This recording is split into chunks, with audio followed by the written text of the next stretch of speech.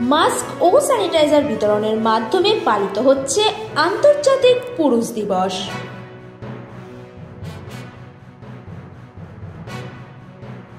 যুক্তরাষ্ট্র, যুক্তরাজ্য, চীন, কানাডা ও ভারত সহ সত্তরটিরও বেশি দেশে আজ উনিশে নভেম্বর পালিত হচ্ছে আন্তর্জাতিক পুরুষ দিবস।